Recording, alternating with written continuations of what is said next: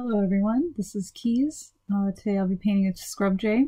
My primary colors are going to be titanium white, of course, ultramarine blue, uh, yellow ochre, and then here I take a brief moment where I try to decide between cadmium orange and burnt sienna, but ultimately decide on the burnt sienna.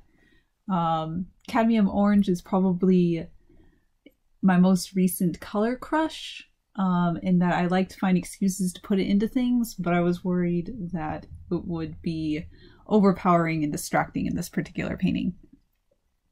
Uh, so here I put down a bunch of base color. Um, it helps to set the general lighting and color tone of the scene because in nature then you'll have this light bouncing all around and all of the colors are going to be reflected off of one another uh, throughout the same scene. And so by painting underneath, um, by painting with these colors underneath, even if it's not in a very defined way, it helps to add those tones of colors throughout the painting because usually whenever you paint over it, some of the under color will, the underpainting will still show through.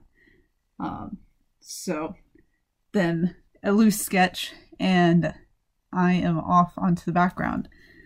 So I wanted to make sure the background stayed pretty out of focus and not very distracting. And so I work pretty thickly um, in blending and dabbing with my brush to try to make sure that there are no hard edges and that um, everything kind of molds together. You can kind of get an idea of what's going on in the back. You can see that there's some sky, some leaves, some trees, but it, it's not going to be enough that you're going to be too distracted by it, hopefully. um, and so I spend a little bit of time trying to get this right.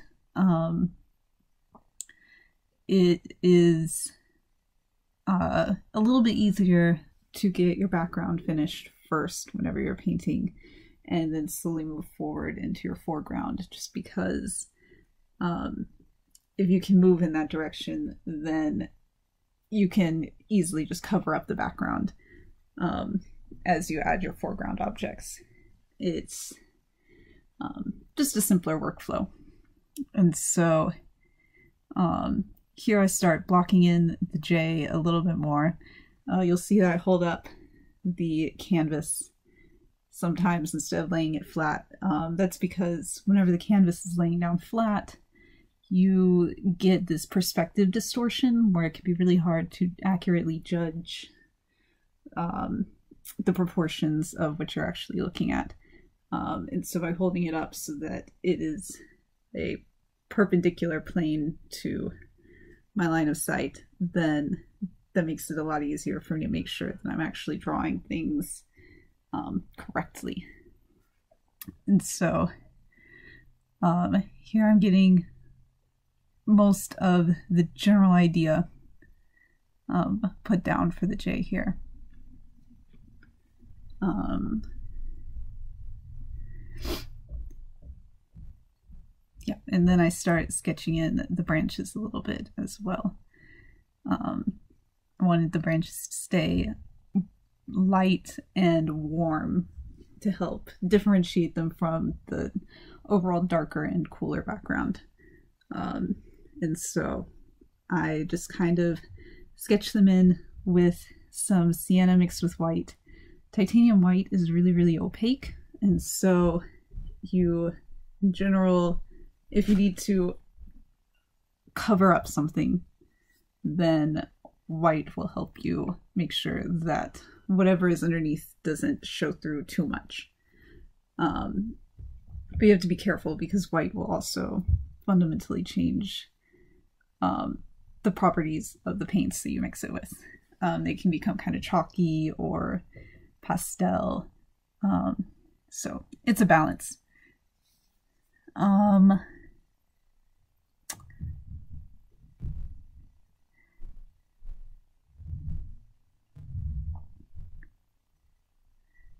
And so I start working in on the feathers on the belly a little bit more. um, I add in some brown undertones into the jay's feathers because even though it is mostly just an off-white underneath it, um, like I said, with light bouncing around its environment, then there's lots of brown warm colors underneath it from the branches and from the ground even though we can't see it it's still there. Um, and so that light reflecting off of the ground and hitting the underside of the jay makes it have a warmer browner look. Um, it can be a little bit tricky to make sure that these lighting effects don't make it look like the, the bird is actually brown underneath. Um, I, I want you to still look at it and say, oh, that's a jay with a white belly. Um, and so it takes a couple layers and a couple of mixings to kind of convey that.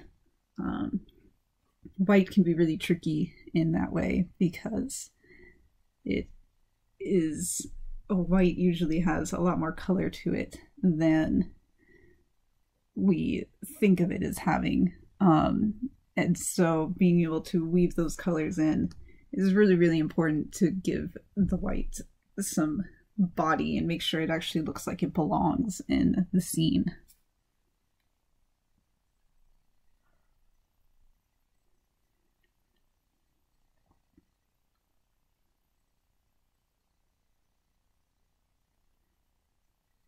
And so I go back in here um, I'm starting to try to pull things together a little bit, define these branches a little bit better.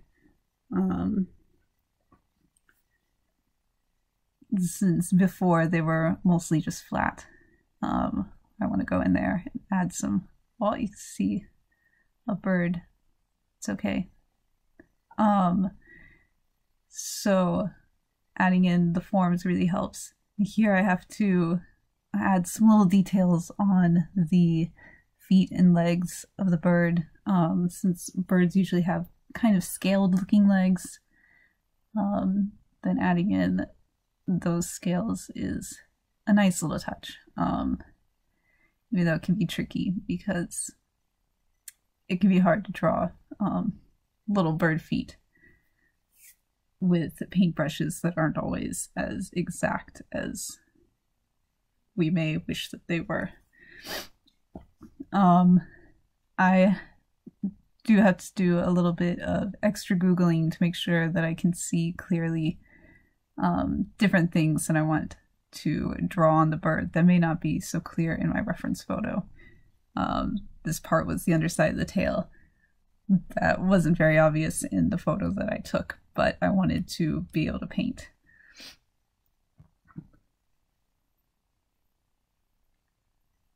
So here I go and I blend out some of the, the brown underneath the tail a little bit better. And I add in some finishing touches, do some really light details to try to make sure everything looks good and well defined. And then there we go. Um, and there is our finished scrub jay painting. So it was a relatively quick one. Um, maybe two hours. I'm not sure off the top of my head. But um, yeah, so thank you for watching.